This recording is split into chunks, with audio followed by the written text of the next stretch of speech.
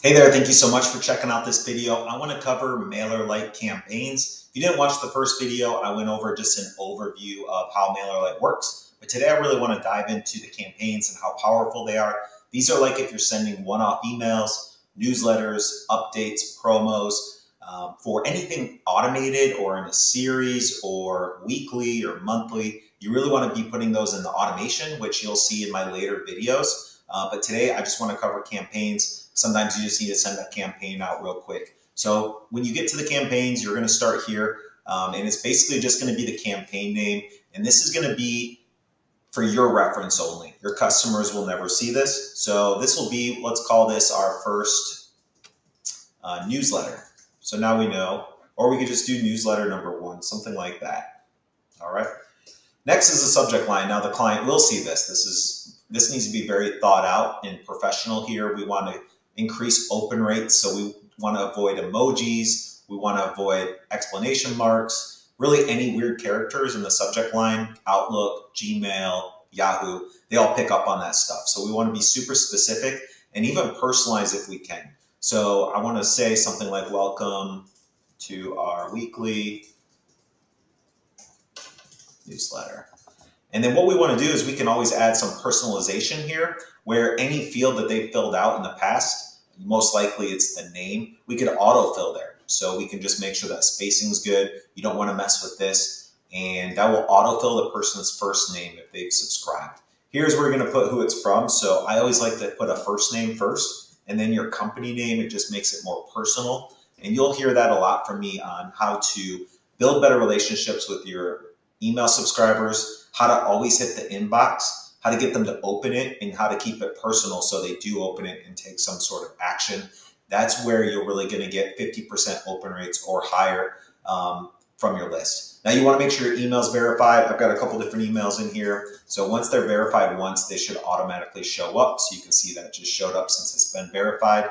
If it hasn't, it'll just say send verification link. It'll send you a link to your email. You just need to open that email, click the button, and then you can come back here and that email will be verified. Sometimes you have to come and refresh the page. Uh, and that's pretty much it. I really like to keep this off. You can track opens, but once you start adding analytics in there, you may be going to the spam or promotion folders um, in, in, Gmail and Outlook. So I like to keep that one off, just my preference. Um, that's pretty much it. I don't like to do auto resend. I don't need to do split campaigns. Um, but if you want to, they have that option, right? So if you want to do a split campaign, you can always set up two different subject lines and it should, it'll split them up 50-50. So what we can do is you could try two different subject lines, two different from names, or even two different emails here. And it'll let you put those in there, let you go down and go from there. So that's just really good way to test stuff out if you're brand new. Uh, for me, I already know what, what works, but yeah, feel free to just test these out. It works, it's pretty cool. All right, next is the fun stuff, the content. All right, in the content, they've got some pre-built content for you also. If you look under template gallery, these are going to be like normal newsletter style emails. They've got, you know, 92 of 92 pages for you. So they got plenty. You can always search the templates. So if you wanted to send an e-commerce template, they've got those. Um, really anything in here, inspiration. I personally don't like templates. Um, once you start setting up newsletter styles, you're going to start going into those promotion and spam folders if you don't get good open rates. So I do recommend sending your first couple emails as a plain text email to people, which I'll show you in a minute. Um, then if you have like a, a monthly newsletter or a weekly newsletter, you can start using some templates as long as people are expecting those emails to come in. If you're sending a random email that they're not expecting, they're not looking for it, so it might start going into their promo folders. Um, that's why you'd want to send a plain text. But if they're expecting a weekly newsletter from you, then you can, of course, use this. Then you can also create new. So you can choose to do the drag and drop editor, which is exactly what the template gallery is. Or my favorite, you can use the rich text editor. This is like you're sending a plain text email. These go to the inbox. That's key. This looks like a personal email from me to you. If I sent you an email from the rich text editor, you would assume I sent it from my Gmail account to you or my Outlook account to you. If I send it from drag and drop, you are going to know it's a newsletter style email. I send it to everybody. So since they know this might be a promo, a sale, you're trying to get something from them, you want them to click on something and buy, these do not get opened as well as the plain text because these are more personal. So let's get this started out of the way. I'm actually going to go to template gallery because these are already set up for us. It's going to be the exact same thing as if you did drag and drop. So let's go to template gallery and let's find one we really like. This one looks fine. This, if you click select here, that almost looks exactly what this is going to look like. So you can feel free to just go back and forth here.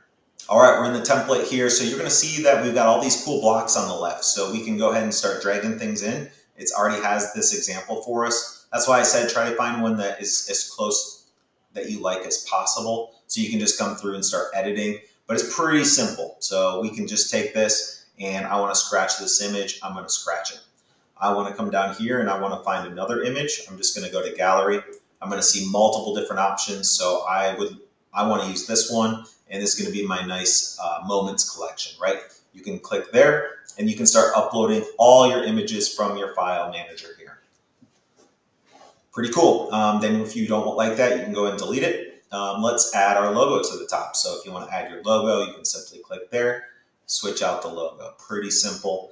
Um, you can adjust the padding, the width, make it a little bigger. You can go left and right. So, you know, they pretty much give you all these options to change the colors. Um, maybe a lot of things you don't need, but they're there just in case you do need them.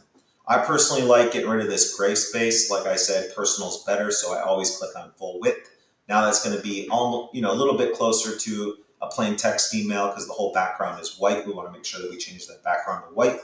And everything's starting to look good here. So feel free to get a template, get in here, start working on it, and start playing around. You can even add some videos, which a lot of email marketing softwares don't let you do. So what you would want to do is put your YouTube link right in here. Just make sure it's the right link, and you can go from there. When you click on the text, it's going to have you edit over here on the right, not here in the in the left. So what you can do is bold it, italic, change the size. You can see it automatically changes, change the color. Um, and most important, what I think you guys need to know is adding that variable. So if you want to say, if you want your email to say hello name, you can go hello space, click on name, add that comma. This is your newsletter. So pretty straightforward here. Um, from there, buttons are cool because you can go add this link here. I always recommend um, going to your website and copying the link directly from your website just to make sure you have the right link. It whenever you type a link in, it's usually wrong. So just go to your website, copy that URL, put it in. And I always like to do open link in new tab. That way they can keep the email open in one and the link another. So once you're done with that, you can hit save. Let's see, you're always gonna need an unsubscribe link. They won't even let you click done editing if you go and remove this unsubscribe link and you always need an address. So that is one thing that you always need to have.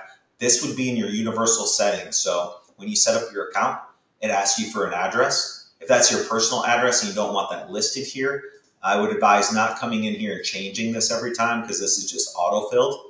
You're actually going to want to go back into your MailerLite settings and change this address. Then it'll auto-fill in here for you every single time, so you don't have to change it.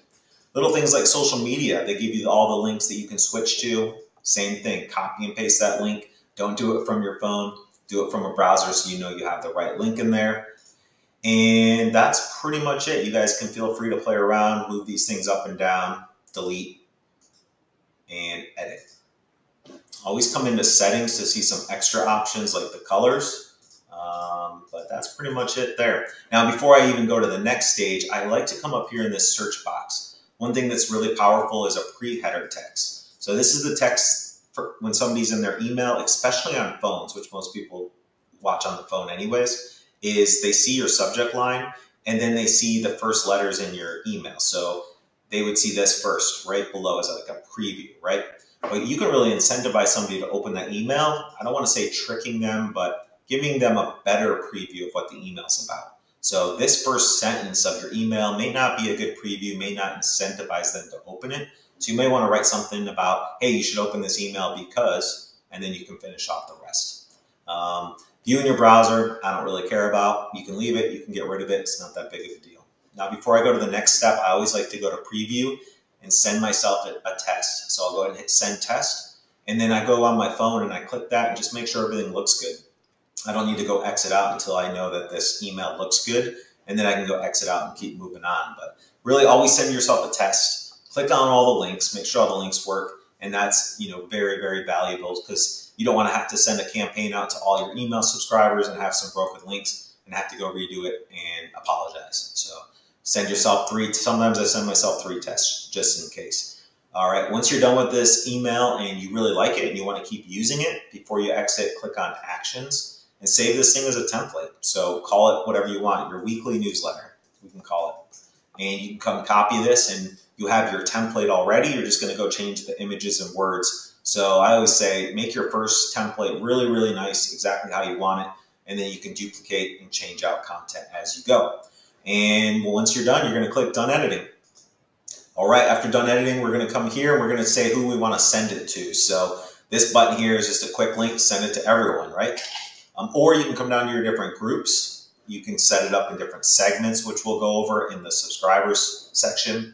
But um, you can go and just choose and send to one group, or you can just choose to send to all. I really like segmenting. Um, so you know who's kind of new in your audience, who's been in your audience, and then who's always been in your audience you can kind of filter those out and change the messaging there. So I'll start with just all active, get down to the bottom, review and confirm.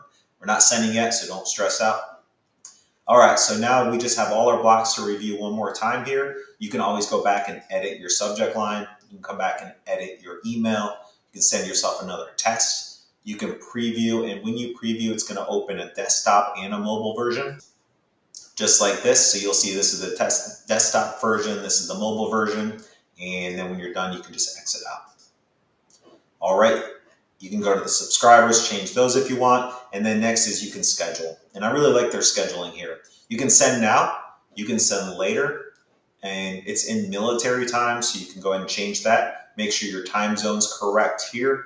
Uh, make sure the date's correct, the time's correct, like I mentioned. But I really like this one. I use this one a lot. So I want to send everyone at 12 o'clock, whatever their, whenever their time zone's 12 o'clock. So this will say, you know, it's after 12 now, but this will say, you know, send everyone at 12. If they're in California, you know, PST, Mountain Time, Central, it knows. And then you go ahead and schedule it. And that's it for campaigns. Um, if you guys haven't signed up for MailerLite yet, my affiliate link should be somewhere around this video. If you could uh, sign up through that, I'd really appreciate it. And watch out for the next video. I'm going to be covering subscribers, forms, sites, and automation in the next couple emails. So thanks again for watching, and I'll talk to you soon.